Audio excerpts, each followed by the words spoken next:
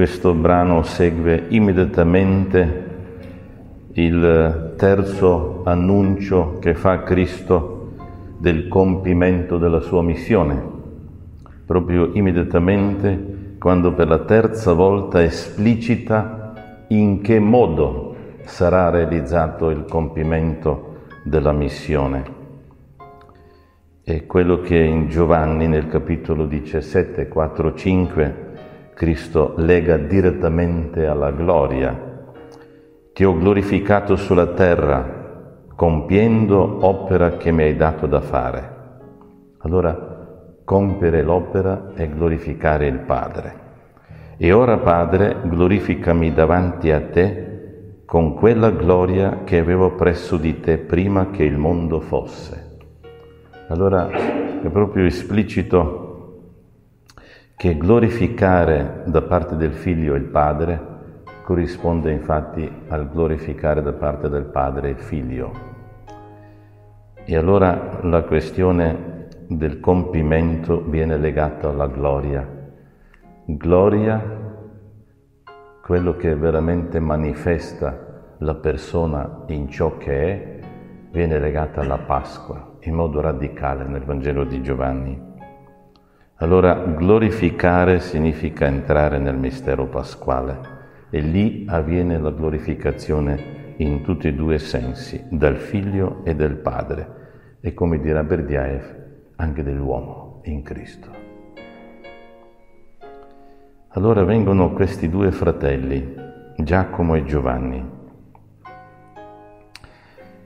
e vengono con una domanda molto strana perché il verbo greco permette quasi di dire, di tradurla in questo modo. Noi vogliamo che tu ci faccia quello che noi pretendiamo. Hanno una pretesa, un desiderio forte che è una pretesa. Cioè noi pretendiamo che tu ci faccia sedere uno alla destra e uno a sinistra. Dove? Nella tua gloria. E allora la parola che fa fraintendere e il discorso è proprio doxa, la gloria. Infatti Cristo a sorpresa da servo, proprio la parola del servo, cosa volete che io faccia? Che lo troveremo ancora prossima settimana. Cosa volete che io faccia per voi? Cristo si comporta proprio da servo davanti a questa pretesa degli uomini e infatti invita loro due di esprimere, esplicitare i loro desideri. Cosa veramente desiderate?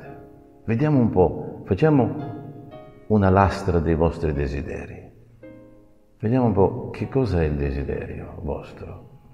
E cominciamo a assistere a ciò che nella teologia spirituale viene giustamente chiamata la preghiera, dove l'uomo apre se stesso a Cristo e comincia un dialogo con Cristo, che è proprio la preghiera. E loro cominciano a esplicitare e Cristo comincia a obiettare. Ma voi non capite niente, più o meno, cioè, non, non, ci siamo. Sì, come no? Noi diciamo, siete sicuri? Guardate che è una cosa seria la gloria. Si tratta del calice, del battesimo, non c'è problema. C'è questa leggerezza impressionante in questa preghiera di questi due, che effettivamente non possono capire perché i loro desideri non vengono, perché come sappiamo no, desiderio è sempre espressione dello stato, della situazione della vita dell'uomo. Il desiderio è più esplicitamente legato a ciò che è per una persona la vita, esprime più autenticamente la vita. E allora loro hanno una mentalità del mondo come Cristo due capitoli prima dice in modo quasi brutale a Pietro, no? Tu pensi secondo il mondo, no? Sei uno Satana, sei uno che alla fine dalle spalle ti accoltella. Ma la mentalità è l'espressione anche di una certa vita. E ma desiderio, pensiero si può giocare un po', ma i desideri sono proprio autenticamente manifestazione della vita e la loro, loro vita era ancora prigioniera in questo mondo, nelle coordinate di questo mondo. potevano capire la gloria secondo l'attesa messianica di un Messia potente, anche politico, con un trono di Davide, eccetera, e sarà una cosa grossa e noi saremo ministro degli interni e degli esterni accanto a te, eccetera. Si può capire così, certamente.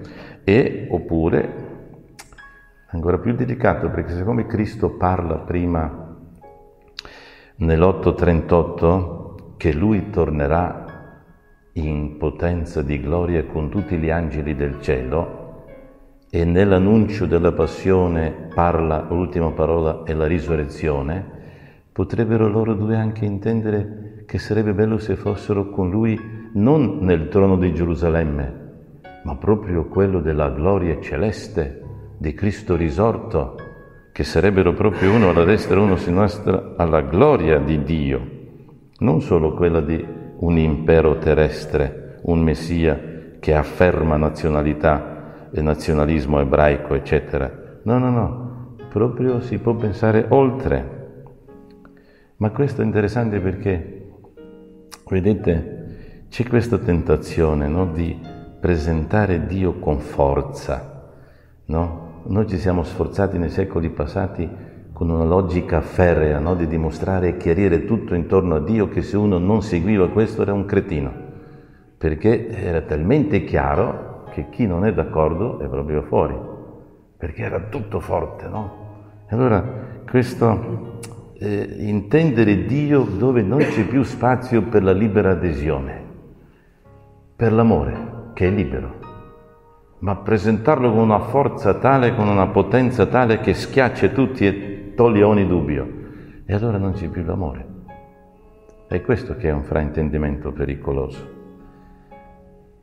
E invece loro leggono Cristo e leggono il suo compimento con questo grave fraintendimento.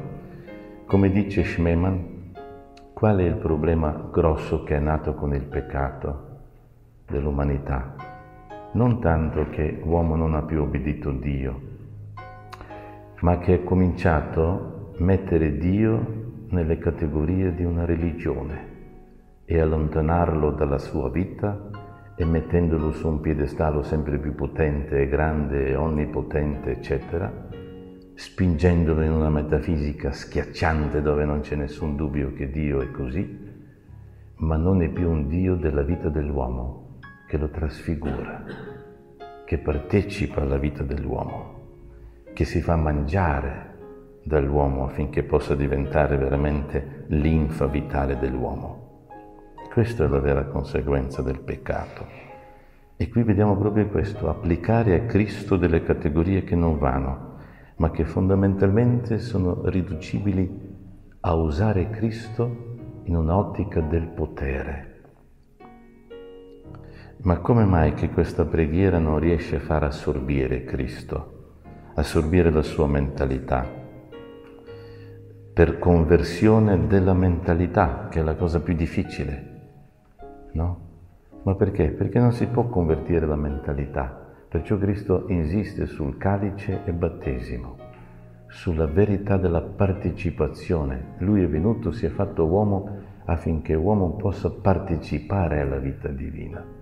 E dalla partecipazione, dalla verità del battesimo, dalla vita nuova che nascerà una nuova mentalità. Non si può aggiustare la mentalità dell'uomo con argomenti e con la manifestazione dei fenomeni strani per far vedere la potenza di Dio. No, è proprio la partecipazione della vita, che è questo amore che pian piano porterà l'uomo ad assorbire il pensiero di Cristo, per arrivare a essere, come dice Paolo, noi abbiamo l'intelligenza di Cristo. E poi è curioso che altri dieci si sdegnarono. Ma certamente non, ma che figuracce ci fanno fare questi due con questi discorsi. No, perché loro, loro due erano espliciti, ma loro, altri dieci, pensavano la stessa cosa. Perché? Perché nel capitolo precedente tutti i dodici camminando hanno fatto una grande discussione chi è il più grande tra di loro, nel capitolo 9. Allora vedi che c'è questo gioco raffinato del potere, di chi è più grande. questa autoaffermazione e non il dono pasquale di sé. Questo caratterizza ogni scisma dentro la nostra tradizione. Autoaffermazione religiosa, dove la religione viene usata dall'individuo per autoaffermarsi, e non vivere partecipando alla Pasqua di Cristo come dono di sé, la vita come comunione consegnata. E questo non si può fingere, questo non si può comandare a se stesso, questo deve essere espressione di una vita. E ogni scisma avviene così, macro, scisme grande tra le chiese, tra i, i gruppi vari, ma anche micro, in una comunità uno dice, ma non considerate i miei talenti, ma non mi mettete al posto giusto, ma io potrei molto di più, ma perché mi hanno preceduto gli altri, nessuno si è reso conto chi sono. Sono sempre i motivi della separazione e dello scisma nella comunità cristiana. Non partecipare alla Pasqua.